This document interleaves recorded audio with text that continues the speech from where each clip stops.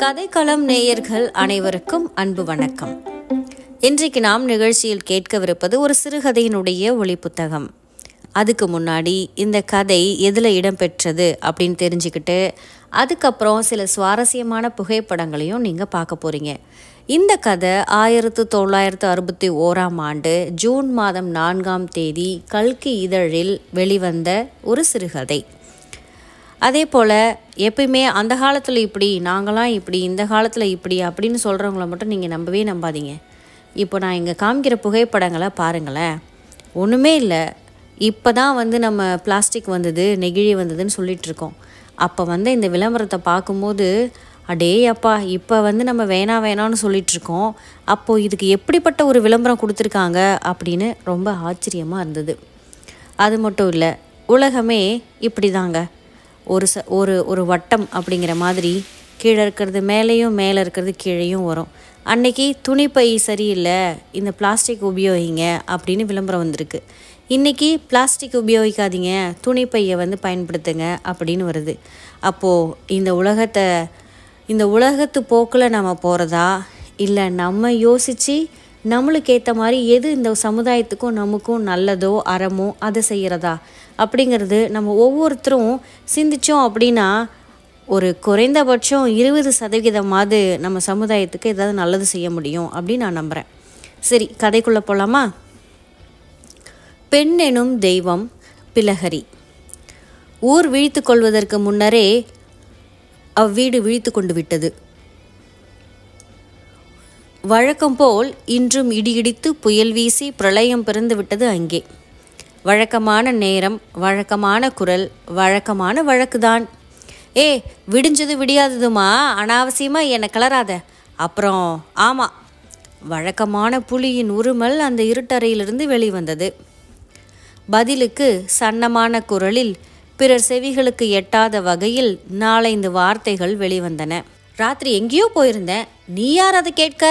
ஏன் இஷ்டம். எங்கேயாவது போவேன் வருவேன். மகாராணி அம்மா கிட்ட உத்தரவு வாங்கணுமோ?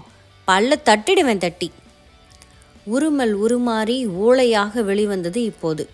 சற்று நேரம் பேசவே இல்லை. இதயத்தை தொடும் விம்மல் நிசப்தத்தை கலைத்தது. சனிய காலடியில் உட்காந்து ஏன் அழற? இப்போது எழுந்து போய் காரியத்தை கவனிக்க போறியா இல்லை? விம்மல் வெடிக்கும் ஒளி. அதைத் தொடர்ந்து படீர் படீர் என்று நாலு அறை விழுந்தது. புலியாக உருமியவன் சிங்கமாக சீறியவன் இப்போது பேயாக மாறி நாலு வாங்கு வாங்கிவிட்டான். சை தரித்திரம் தரித்திரம். உன்னை ஒழிச்சாதான் வீடு உருப்பிடும். என் கழுத்தை கட்டிண்டு மாரடிக்கிறியே. அடுத்த நிமிடம் அரைக்கை பனியனும் தோள்பட்டையில் கட்டம் போட்ட துண்டுமாக அந்த ராட்சசன் வெளியே வெளியேறிவிட்டான். வீட்டின் முற்பகுதியில் உள்ள இரண்டு குடித்தனக்காரர்களும் நிம்மதியாக பெருமூச்சு விட்டனர். அரை மணிக்கு மேலாக பின்கட்டு வாசிகளிடமிருந்து எழுந்த ஓலமும் ஓசையும் அவர்களையும் அப்போதே தட்டி எழுப்பிவிட்டன. கிழவி ஒருத்தி முன்பக்கத்துக்காரர் ஒருவரின் தாயார் பூனை போல் பின்பக்கம் சென்றாள். குளியறையையொட்டி அமைந்துள்ள அந்த இருட்டறைக்குள் லேசாக தலையை நீட்டினாள். சின்னஞ்சிறிய அறைதான் அது. அங்கு இருப்பவர்களுக்கு அதுதான் சமையல் அறை சாப்பிடுமிடம் படுக்கையறை எல்லாம். ஆறு ரூபாய் வாடகைக்கு பின்னே அரண்மனையாகவா கிடைக்கும்? அந்த பிள்ளையாண்டானுக்கு அதுதான் சற்று முந்தி சாத்து முறை செய்துவிட்டு போனானே அவனுக்குத்தான். எங்கோ மில் ஒன்றில் வேலையாம் ஐம்பதோ அறுபதோ சம்பளம் இருக்கும். அந்த வரும்படியில் இதை விட அதிகம் கொடுத்து அகலக்கால் போட முடியுமா? இந்தாடி பெண்ணே சிவகாமி உள்ளதான இருக்க? நீட்டி முழக்கி குரல் கொடுத்தாள் கிழவி. இருக்காமல் எங்கே போகிறேன் பாட்டி? இருளும் பதில் குரல் கொடுத்தது. தைரியமாக இரண்டடி எடுத்து உள்ளே வந்தாள் அந்த கிழவி. ஒரே புகையா போட்டிருக்கேடி என்றாள். குளிக்க வெந்நீர் போட்டிருக்கேன் பாட்டி பாட்டி சிரித்தாள். மொண்டு மொண்டு பச்சை தண்ணியாக கொட்டிப்பியே. இன்னைக்கு என்னடிம்மா வெந்நீர்? கணவன் கொடுத்துட்டு போன அடிக்க ஒத்தடம் போடவா? பதில் மொழி பிறக்கவில்லை. கிழவி உட்கார்ந்து கொண்டாள். இந்தாடி நானும் கேட்க வேண்டாம் கேட்க வேணான்னு தான் இருக்கேன். இத்தனை நாளும் ஆமாம் இவன் அக்கிரமத்துக்கு எல்லை உண்டா இல்லையா? சகிக்காம தான் கேட்குறேன் ம் இதற்கு பதில் கிடையாது. இங்கே கொடுத்தன வந்து ஆறு மாதம் ஆகிறது. வந்தது முதல்ல இன்னைக்கு வரைக்கும் பொழுது விடிஞ்சதும் விடியாததும் உன்னை போட்டு மொத்தறானே. கேள்வி முறை கிடையாதா? ஒரு நாள் கை நீட்டாமல் இருக்கானா? எப்போ பார்த்தாலும் நாய் மாதிரி குறைச்சிண்டு பேய் மாதிரி அரையிறதுக்கா அவனுக்கு வாழ்க்கப்பட்ட? நான் வந்த வழிபாட்டி அது. கண்ணீரில் கரைந்து வந்தது பதில் குரல். வந்த வழியாவது போன வழியாவது. குடும்பம்னா முன்ன பின்ன தான் இருக்கும். இல்லைன்னு சொல்லலை. ஏதோ வெளியே அலைஞ்சிட்டு வர ஆம்பளைக்கு கோபதாபம் வரத்தான் வரும். ஏதோ கூச்சல் போடுவான் இல்லை ரொம்ப மிஞ்சி போனால் ரெண்டு தட்டு தட்டட்டும். இப்படியா எப்போ பார்த்தாலும் அடிக்கிறது வைகிறது அலற வைக்கிறது? இல்லை. என்ன தாண்டி அவன் மனசில் நினச்சிட்டு இருக்கானா? வாயை திறந்தே கேட்டுடேன் இப்பேற்பட்ட கணவன் கிட்ட வாழத்தான் வேண்டாமே. பெரிய பாறாங்கல்லாம் பார்த்து வயிற்றுல கட்டிண்டு சிவனேன்னு கிணத்துல குதிச்சுட்டு பிராணனை விட்டுடலாம். சிவகாமி விக்கினாள். பாட்டி ஏதோ நான் அசைப்பதற்காக பேசவில்லை. அவள் மேல் கொண்டுள்ள அளவற்ற பரிதாபம்தான் அப்படி பேச வைத்தது. அவ்வார்த்தைகளில் எது தப்பு? இப்படி அடியும் உதயம் படவா அவள் அவனுக்கு வாழ்க்கைப்பட்டிருக்கிறாள்? ஒரு நாள் சுமூகமாக மனம் குளிர முகமலர வாய் நிறைய பேசியிருக்கிறானா? தாய் தந்தையை விழுங்கிவிட்டு தூர உறவினரால் வளர்க்கப்பட்டவளுக்கு இவனை விட நல்ல வரனாக கிடைக்கவில்லையா? வளர்த்தவர்களுக்கு அவர்கள் கண்டார்களா? இவன் இப்படி அரக்கனாக இருப்பான் என்று? ஏதோ மில்லில் உத்தியோகம் நன்றாக வைத்து பார்ப்பான் என்றுதான் எதிர்பார்த்தார்கள். ஐம்பதோ அறுபதோ அது எவ்வளவு என்று கூட இந்த வினாடி வரையில் அவளுக்கு தெரியாது. சம்பளமாம் என்ன சம்பளம் என்று அவள் தான் வாய் திறந்து கேட்டிருப்பாளா? கேட்டால் இவ்வளவு நேரம் அந்த நாக்கு தான் இருந்திருக்குமா? எவ்வளவோ சம்பாதிக்கட்டும் ஒழியட்டும் அதை பற்றி அவளுக்கு என்ன கவலை? ஒரு காரியம் ஏதோ சத்தியத்துக்கு கட்டுப்பட்டார் போல செய்கிறான். முதல் தேதி பிறந்தவுடன் மாதத்துக்கு வேண்டிய சாமான் வாங்கி போட்டு விடுவான். இருபது தேதி வரை அதுவும் ஈடு கொடுத்து வரும். அப்புறம் பத்து நாட்கள் முன்னே பின்னே தான் இருக்கும்.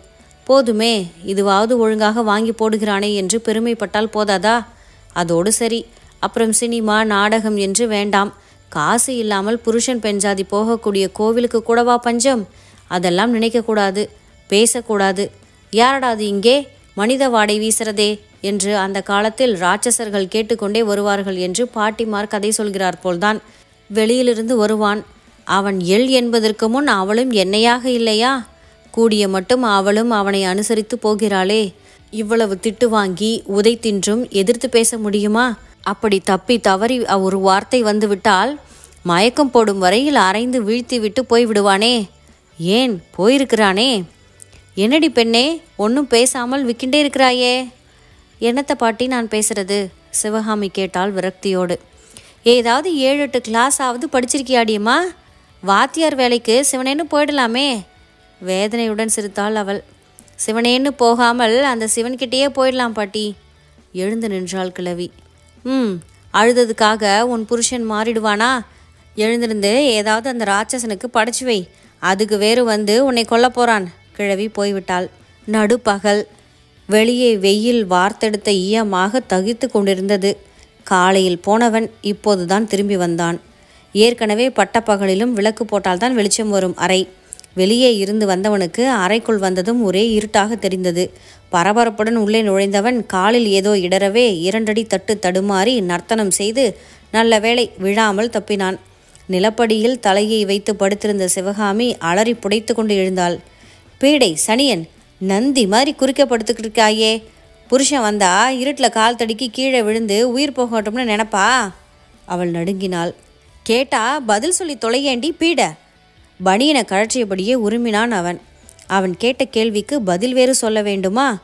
ஒழியட்டும் என்ன சமைச்சிருக்க? பசி அடி வைத்த கிள்ளுது என்றபடியே அமர்ந்து கொண்டான். மிளகு ரசம் வச்சு அப்பளம் சுட்டிருக்கேன் என்று தீனமான குரலில் பதில் சொன்னாள் சிவகாமி. சட்டென்று கையை உதறிவிட்டு வேகமாக எழுந்து நின்றான் அவன். ஏன்? கொஞ்சம் எலி பாஷானாமோ? ரசத்தில் கலந்துடக்கூடாதோ? ஒரு வழியாக முடிஞ்சிடுமே? மிளகா அப்பளமா? சை ஒரு ஞாயிற்றுக்கிழமை லீவு நாளாக பார்த்து வாய்க்கு ருசியானதை சாப்பிடலாம்னு வந்தா? விடிந்ததும் விடியாததுமாக சண்டை போட்டுவிட்டு போனவனுக்கு அவியல் பொரியல் பண்ணி போடவில்லையாம். பண்ணி போட அவள் பா தயார்தான். அதற்கு வேண்டிய பதார்த்தம் ஏதாவது வாங்கி கொடுத்து இதை செய் என்றால் அவள் செய்யாமல் இருந்திருப்பாளா? காய்கறி வாங்கக்கூட சிலரை சில்லறை இல்லாமல் முன்பக்கத்து கிழவியிடம் இரண்டு அப்பளம் வாங்கி சுட்டு வைத்ததற்கு இந்த பலன். எல்லாத்தையும் நீயே கொட்டிக்கோ பீட. நான் ஒழிஞ்சு போகிறேன் அவன் போய்விட்டான். வந்த வேகத்தில் சிவகாமி அழவில்லை. கண்ணீர் விடவில்லை. இந்த இரண்டுக்கும் இனிமேல் அவளிடம் இடமில்லை. பேசாமல் அந்த பழைய இடத்திலே நிலைப்படியில் தலை வைத்து படுத்துவிட்டாள். சாதமும் ரசமும் அப்பளமும் அப்படியே இருந்தன. அவள் வாழ்க்கைப்பட்ட பவிஷுக்கு சாப்பாடு தான் குறைச்சலாக்கும். மாலை நேரம். சுவாமி படத்துக்கு விளக்கேற்றி வணங்கி எழுந்தாள் சிவகாமி. பிறகு முற்றத்திலிருந்த துளசி மாடத்திற்கு சென்று வலம் வந்து வணங்கினாள்.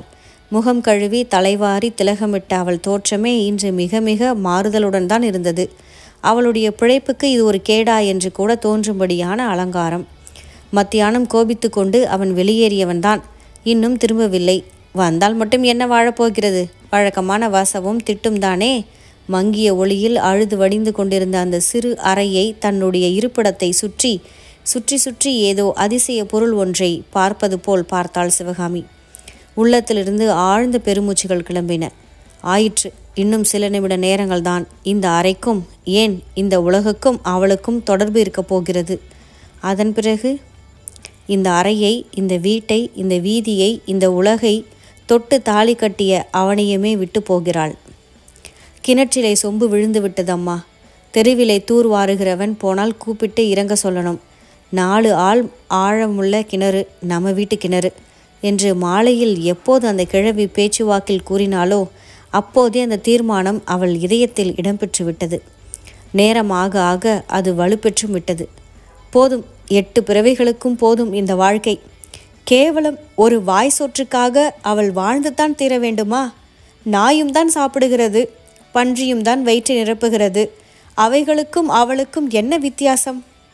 ஆசை அன்பு அரவணைப்பு என்று எப்போதாவது உண்டா? இந்த அவள வாழ்வு வாழ்வதை விட அந்த கிணற்றிலே தன் விதியை ஒப்புவித்து விட்டாள் முதன் முதலில்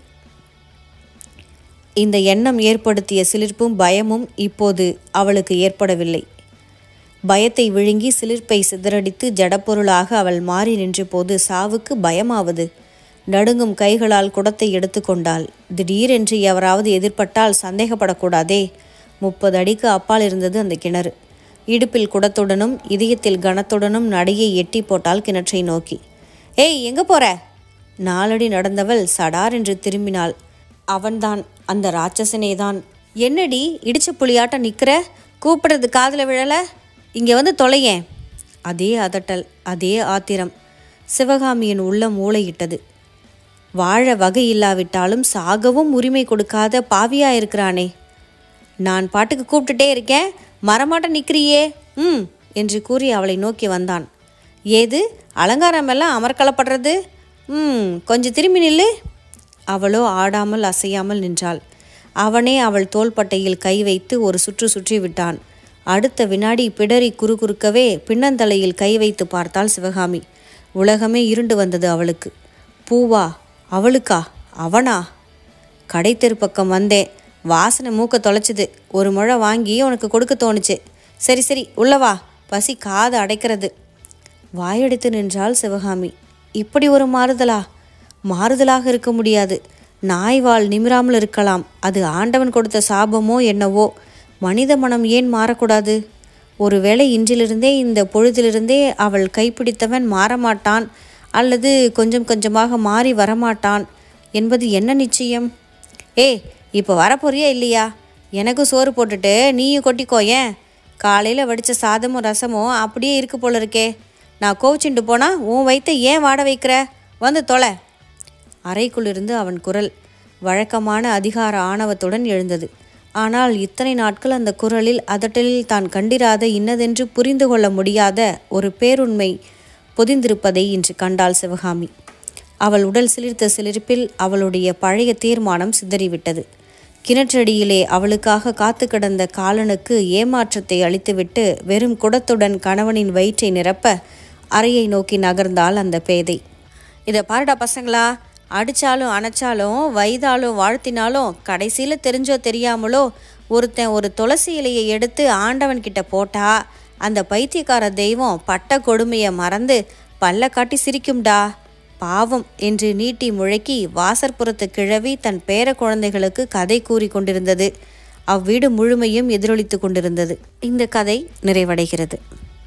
என்னதான் காலங்கள் மாறினாலும் வருஷங்கள் மாறினாலும் நூற்றாண்டு மாறினாலும் நாகரிகம் வளர்ந்தாலும் பெண்களுக்கான அநீதிகள் வேற வேற விதத்துடன் நாகரிக போக்குடன் மாறுகிறதே தவிர முற்றிலும் மாறாமல் இருக்கிறதில்ல. இன்னொரு பக்கம் மாறிடுச்சு அப்படின்னு சொன்னாலும் இந்த மாதிரியான சில விஷயங்கள் இன்னும் நடந்துக்கிட்டு தான் இருக்குது பெண்கள் பெண்களாகவே இன்னும் வாழ்கிறதுக்கு இன்னும் காலம் வரலை அப்படின்னு தான் நான் சொல்ல முடியும். மீண்டும் மற்றொரு பதிவில் சந்திப்போம். அதுவரை உங்களிடமிருந்து விடைபெறுவது காயத்ரி இளையராஜா. நன்றி வணக்கம். வாழ்க வளமுடன்.